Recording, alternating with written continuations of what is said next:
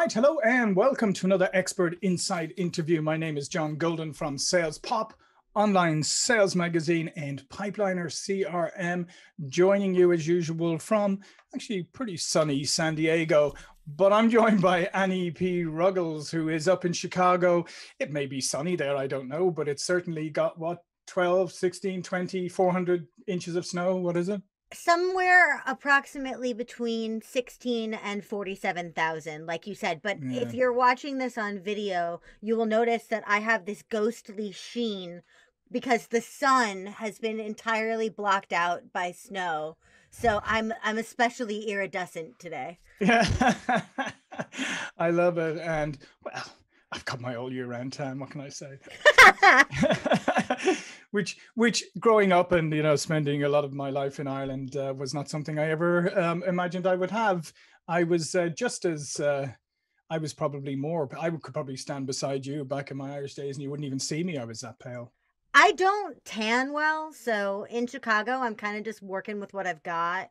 Because if I lived in anywhere remotely warm, I would be red all the time. Yeah, well, yeah. Well, I used to be like that, but you just damage your skin enough and it'll do it. Anyway. Thank you for that wonderful advice on damaging my skin, John. Appreciate it.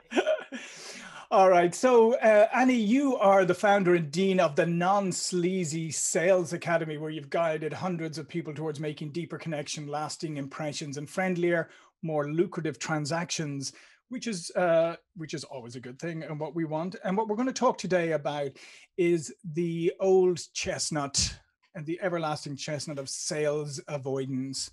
And as we were saying just before we came on air, I do think that you know the fact that a lot of people have had to go virtual now with their selling and yeah. maybe reorient the way they're selling or maybe move into adjacent markets or maybe pivot products There's so much has gone on obviously over the last year or so because of the pandemic situation yeah that has likely uh, added a whole new level of stress to maybe some salespeople who are already kind of struggling with the notion of being salespeople in the first place, um, and now this is this is uh, layered on top.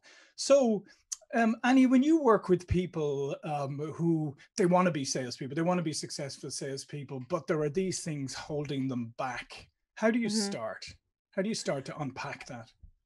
The cornerstone is what is you and your opinion of what you're offering and what you're providing and what is sales baggage okay because we've mm-hmm. all been sold to horrifically before and if you're listening to a sales podcast you've probably been not only sold to in a way that really hurt you, offended you, abused you, you've probably also been taught to sell in some ways that never felt right. And maybe you tried them on, maybe you had to right? Like I work with a lot of people that are very luxurious like me who has complete control over what I'm selling, who has complete control over everything that I say in I don't have to follow someone else's script, right? But right. but what I see like over and over and over in that sales avoidance space is that they're worried about parroting behaviors that do not connect with their ethics and morals. So the very first thing is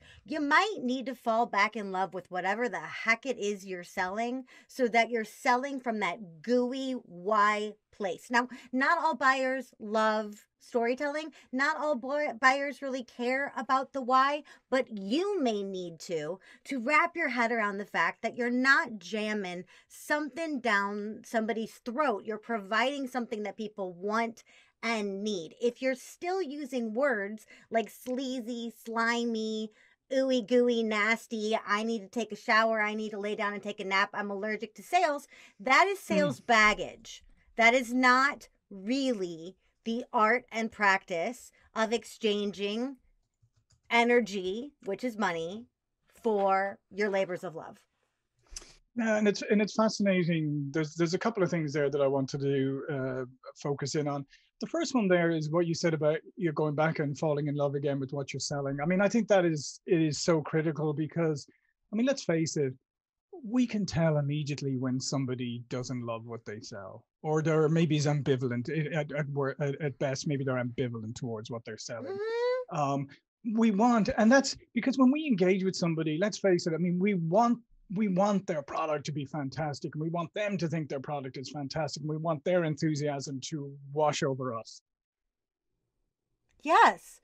Absolutely because I think everyone, although I don't think this because I don't want there to be victims of this scenario, yeah. but I think the people that are the best salespeople that are able to do relationship based selling and non sleazy selling, like what I teach and what I see all the time, the mm-hmm. people that are best at that naturally are the people that have had to sell things that they hate or sell for people that they don't trust themselves. Now, again, mm-hmm. I don't want people to have to be the victims of this, but if you know what it feels like to have to try to make excuses and arm twist and do all that nasty stuff.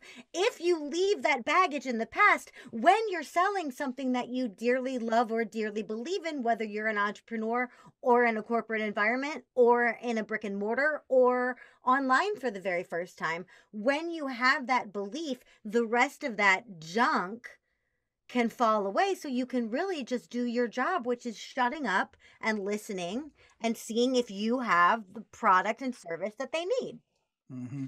and just just um, again just honing in on that that point that you um, that you just made about baggage because i think baggage is incredibly important and i'm not sure that people always recognize that they have it and i do think that's one of the most liberating things is when you do recognize that you have baggage and i always say nowadays is uh, what baggage are you going to carry on and what baggage are you going to check right i yes. would i would i would recommend that you check most of your baggage and the only baggage you carry on is the is the positive supporting baggage yes and the rest of it light it on fire yeah yeah right especially people that are coming from corporate environments and they're jumping into entrepreneurship. Or people in nonprofits who are used to selling in a corporate environment, right? If you're used to selling something or having to sell something, whether it's a product, a service, or if you're a manager, if it's a policy, you know, if it's team lunch that you have to sell mm-hmm. everybody on, whatever that is, it's so important that you understand that having something passionate in you that you can sell to is an entirely different ball game than the ways that you have been taught to sell other people's stuff. Okay, yeah. it's a different skill set, which is great for people who go, Well, I don't have any natural skill in sales. Yeah, you do. If you are an introvert, you have a natural skill in sales. If you are an empath, you have natural skills in sales. If you're one of those people like me who could befriend a tree stump, you have natural skills in sales. It's the baggage part that tells you that you're not. Instead, what if your baggage could be liberating, like your point? Take the baggage that's educational. The best way to make baggage educational is to look at what caused the baggage, like look mm. at who hurt you and make an action item or rule or boundary within your own practices or your own business if you're self employed. Make an action item to the contrary. If you hate that someone voided a guarantee that you bought because of it, then mm. make a policy, bring that into how you offer a guarantee, right? Yeah. If you hate the way that someone broke you down with a pain point on a sales call, then look specifically at how you broach the topic of pain on a sales call. That's the baggage we carry with us. Everything else is just you having to hustle to sell somebody else's junk. Yeah, and I love the way you put that is basically is using it, um, using it to your advantage. But really, uh, as you said, is using it as a learning, as a learning tool to improve and to be to get better. And instead of, and it's good to look, and it's good sometimes to say, okay, yeah, that that really threw me, or you know I, I was totally knocked off my my my um, my rhythm by that or whatever. I lost the sale because they introduced something and i didn't know how to deal with it. All these are great things that you can say okay mm-hmm. i can either sit there and be scared on every call that the same thing is going to happen or i can preempt it. Yeah and when you're still on the call okay you get knocked off your game. If you still have time left and you still have that person's attention you can steer that puppy back in right mm-hmm. you can you can corral that thing and one of the ways is not rushing back into your spiel not rushing back into tactics right into unnecessary urgency or scarcity or the weird nlp seminar that you picked up once and mm-hmm. sort of understand i love nlp but i hear a lot of people misuse it right but mm-hmm. don't do that hush ask a question and listen and you'll turn the car around. You will bring the conversation back if you stop. If you try to jam the spiel in there when the car's already spinning, I've mixed like 87 metaphors at this point. I'm sorry that you all have a metaphor whiplash. But if you try to to add spiel back into this, it's going to feel disjointed. They're going to feel like you're not listening. It's going to take an uncomfortable moment and ideally make it more uncomfortable. What if you can pause, ask a question, take a breath and listen to the answer, drop the spiel, drop the baggage, and then just answer the question. Yeah, yeah. Because I mean, who hasn't? Who who doesn't react well when you? Okay, so if they say something, you get knocked a bit off your game, and then you go, hmm, it's an interesting point you raise. Um, could you expand on that a little so I understand it better? Right now, immediately I have, I have validated you. I have compliment I have complimented you and I have put the onus back on you to really explain what you're talking about and that gives me the opportunity to learn more and to mm-hmm. and to uh, gather myself absolutely and that all goes i mean if you treat it that way it's almost like how I am always yelling at people about objection handling, right? Because that point of confusion, that point of discomfort, you could see that as an objection, right? Mm-hmm. Most yeah. of the time, I teach objections as like opportunities to teach a little more, right? But in these mm-hmm. particular instances, they're a point of confusion, and the objection is, I'm not sure I want to hire this person anymore. Right? Mm-hmm. So, what if instead of arguing the objection, instead of calling yourself out, instead of doing all those things, what if instead of handling the objection that way, you leaned into it? And you said, You know, I have absolutely no idea how to answer that question. I wish I did. I don't. And here's why my lane is over here. My area of genius is over here. You asked me a question that's just around the outside. So here's what I know and here's what I don't. Does that change if you think I'm the right fit for you? Because if mm-hmm. so, I will gladly find you someone that knows a better answer to that. But over here, from where I'm looking at, you just blew my mind a little. Thanks for that. Let me get back to you if you'd like an answer from me on that topic. But back to you, Bob, right? And that, mm-hmm. you're fine. Yeah.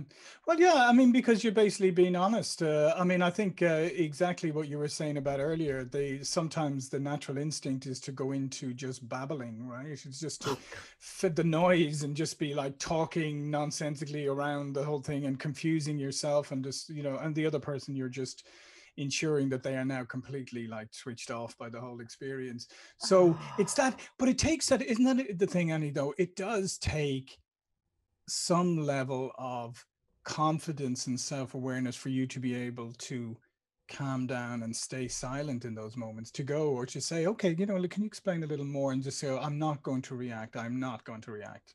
Yep. It's not about you. Mm-hmm. it's not about you. Even if you're a one person business it's not about you. If you're on the phone with somebody it's about them. So if your ego is creeping in, number one, great, congratulations, you're human. If you're a little mm-hmm. embarrassed, great, it means that you care about what you're doing. If you're worried about manipulating this person, maybe selling them the wrong thing, great, it means you care about your buyer. If you don't know how to answer a question, great, that means you're listening. Okay, take all those things, focus on that when you take your little breath. Realize that you are actually trying to help someone get your bearings mm. and dive back in. Yeah, I think that's a great way of putting it there because what you've just done is reframed all of those things, right? Um, from where you could possibly look on them as negative, but you've reframed them and actually said, no, this is good. This is all good. This is actually enriching the whole interaction. Yes.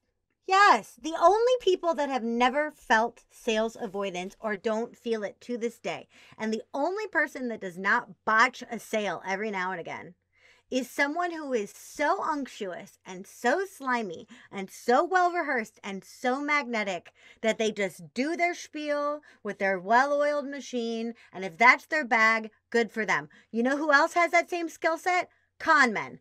I'm not saying the two groups are the same. I'm saying if you can't relate to that level of performance, that's okay. The rest of us down here are just trying to help people. But if we get in our own way by babbling, by shooting ourselves in the foot, by talking ourselves in circles, by answering questions we have no business asking mm. or sorry, answering, by asking questions that are no no right person in the right mind would ask if you went into a coffee shop. Then don't ask it.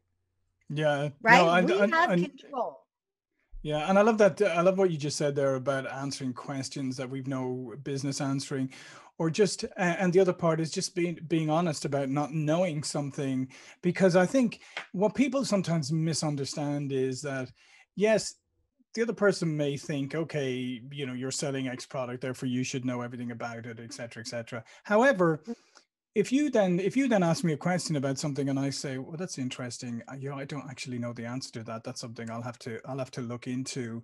Um, that's more trust building than yes! it is if I if I give you some if I give you some obtuse answer.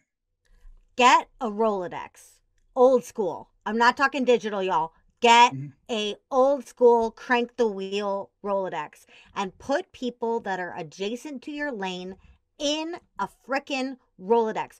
Do this because it's like that TV show Pawn Stars where people bring in like mm-hmm. weird relics and they're like, oh, I don't have knowledge of a 1956 Mickey Mouse figurine, but let me call in my 1950s Disney expert.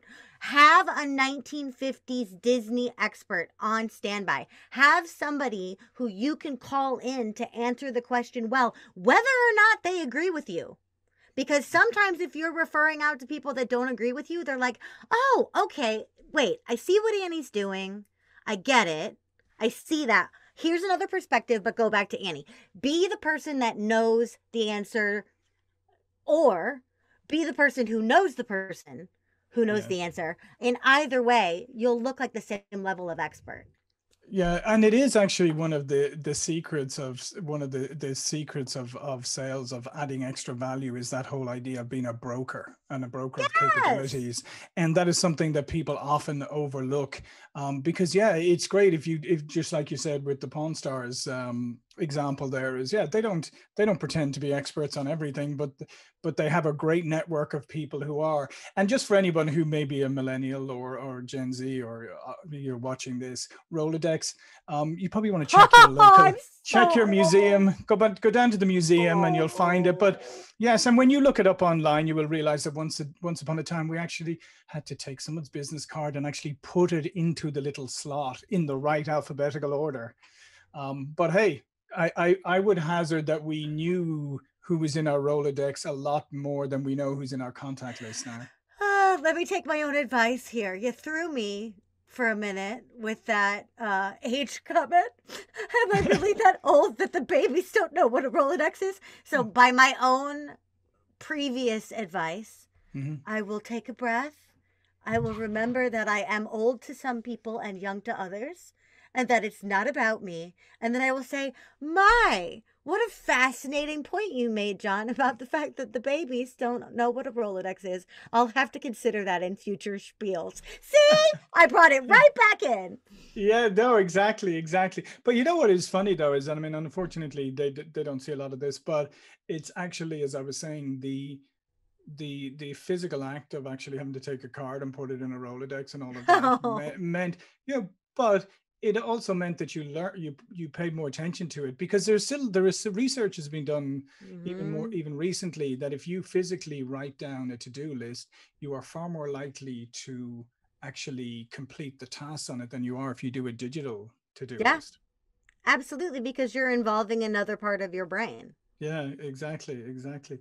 Um, so so let's talk a little bit about obviously mm, a lot of people are selling virtually now and probably some of hmm them for the first time and it's been forced upon them and it's and maybe some of them are thinking, oh, I can't wait for this pandemic to be over when I can go back to the normal way I used to sell, even though perhaps the people in the leadership of their company are going, hang on a second, we're saving a bunch of money in here and the customers don't seem to care about whether we show up in front of them or on Zoom. So how do uh-huh. you what do you say to people who are maybe struggling with virtual selling how to get over that? your best sellers in terms of the lines that you say, the questions that you ask, those kinds of bestsellers, your performance bestsellers, either they still work or they're like two inches away. So hmm the things that you felt wonderful asking before, the things that you felt effective using as your reference point or your case studies before, those things probably still work. If you don't have the luxury of seeing people in person, a great solution is video. Do a pitch on pre recorded video or do your follow up on video. I use a service called Bonjoro, which is B O N J O R O, just so I can send a little video to everybody at hmm every step of the buying process, right? So the first thing is whatever your skill set is, find a way to infuse that into online selling. And the other thing is do not fall for the two traps that I see on templates for when people are trying to sell online who haven't sold before, okay? And they're the exact same problem just through the looking glass of each other. Emotional buyers exist. hmm Fact based buyers exist. Some people are both. Most people are a combination of the two.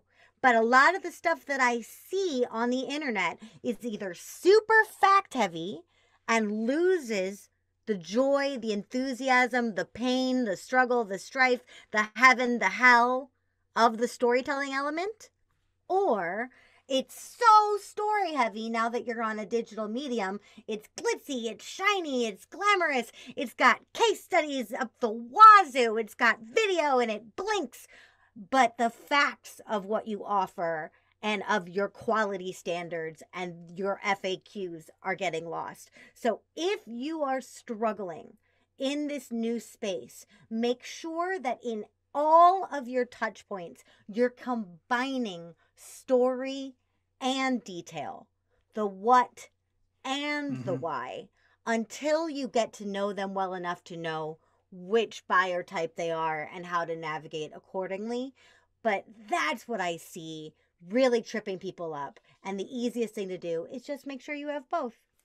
Yeah, and I think that's a great point, and and certainly one that I think people should take on board because yeah, I mean it is hard to know sometimes when you're when you're engaging with somebody virtually what type of personality they are, and and as you say, there's nothing worse than trying to sell the sizzle to somebody who's an analytical buyer or selling the analytical hmm appro- or taking the analytical approach to somebody who's a kind of high level 50,000 feet kind of person Yeah. but that's not but it, that's not always obvious especially in in a virtual setting Yeah. So make sure you have both. Hmm Absolutely. Make sure that you have a nice balance of both. And then if you have fancy segmentation, see what they click on, you know, put them in buckets that way as soon as you can. But in the meantime, just include a little sparkle and a little hmm detail. yeah and i think the other thing that people struggle with sometimes in the virtual arena is dealing with silence and let's and let's face it right Mm, if you if you say something or you ask somebody you know a prospect a question they may need a moment or two to actually consider their answer but we hate silence we are scared of silence so if annie suddenly if i ask annie a question and she suddenly goes silent for a moment and she's genuinely thinking about it i panic and i go i better say something because silence is bad Yep. And I have listened to hundreds and hundreds of sales calls, and this is the biggest sin I see. Okay? The biggest. Capital B, biggest. And the investment for that is $2,500. Mhm. Uh, I mean, I, that's the full pay. I do have a Yeah. payment plan. It's two thousand five hundred dollars, Mhm. but also like your referral. And so I know, um, you know, there are some things that are more Yeah. expensive, and there are some things that are less expensive. But like your referral. So if twenty five hundred dollars isn't going to work for you, Hmm. okay, I told you that there's a payment plan. I said that there's a payment plan, right? Yeah. But okay, well, hold on, hold on. You are my cousin's best friend's nephew, and therefore I can give you a better discount than that. What was I thinking? It's not twenty five hundred dollars. It's two hundred and fifty dollars. It's two hundred and fifty dollars. Is that better? Yeah, and meanwhile, uh, if you could hear what was going on in their brains, uh, they're saying, hmm, in the initial thing when you said it was 500, whatever, they're going, yeah, okay, that sounds reasonable now. Um, let me see what budget I'll take that out of. And do I need it for one or do I need it for two? And you have now, while they're going through this process in the brain, you've now actually reduced it down to $200 before they've even answered. Well, not only that, you've completely talked over Mhm. their room to make a thought. If I was a waiter in a restaurant and I came up and I said, These are today's specials, and I told you the specials, and I said, I'll give you a second so that you can figure out what you want to eat. And then I just stood there going, John, did I tell you the specials? Did I tell you the specials? I know they're the specials. Did I tell you the specials? Did I tell you the specials? Did I mention that our chef is well rated? Did I mention that we have two Michelin stars? Did I mention that? Did I mention that? Do you want the specials? What the hell? Not Mhm. only would you not know what you wanted to order, you would leave the restaurant. Yes. yes, Don't make people regret having the whole conversation after you name the price. It totally takes the confidence and rapport that you've accrued throughout and just shoots it right in the foot. Don't do that. Say the price. Ask a leading question like, How does that land on you? And Mhm. then shut your beautiful, brilliant mouth. Hmm Yeah, and it's it's a great piece of advice, and it is, and it is a skill you got to learn. Unfortunately, um, it is difficult, and I said it can be accentuated some of the difficulty sometimes in, in a virtual environment. That's why it's real important to have your camera on, because at least if you both have your camera on, and even if the other person doesn't have their camera on. You should have your camera on because at least they can they can see you and, and Yeah. you know they can understand that you're sitting there waiting for a reply that you're not just like you know Right, that you're you're- listening. Or mm-hmm. you can see them if they are on Yeah. camera. Are they taking notes? If they're Yeah. taking notes, they're probably more of an analytical buyer. Yeah, right? Yeah, yeah, Watch and exactly. respond in real time.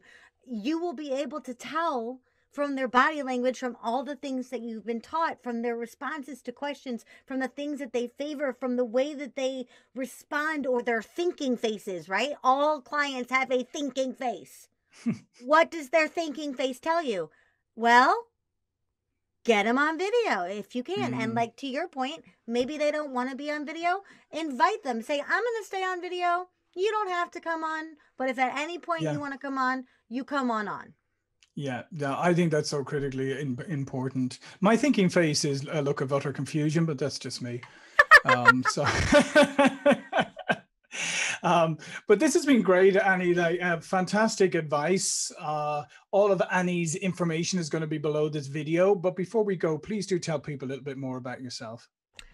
So, my main area of focus is on this sales avoidant piece. So, I do go into scripts and calls and all those other things. But if you feel nasty when you sell, we need to talk. And I have a free masterclass that you can take called Making Selling Easy Without Getting Sleazy. That'll be in those links. And my pride and joy, the jewel of my crown, is my podcast, which is called Too Legitimate to Quit Instantly Actionable Small Business Strategies with a Pop Culture Spin. We have talked about Cobra Kai, Schitt's Creek, The Hero's Journey. Rihanna, Megan Thee Stallion, Lady Gaga, all of these different people gleaning small business tips straight from them and making sure you have actionable homework every week. So that's available wherever you listen to podcasts. I would adore it if you would listen and share. Yeah, absolutely. I would encourage you go check out uh, Annie's podcast. Sounds fascinating. I must. Ch- I'll check it out myself. Um, all right. Well, uh, again, thanks, Annie. Thank you all for joining. My name is John Golden, Sales Pop Online Sales Magazine and Pipeliner CRM. I'll see you all again for an interview really soon. Thank you.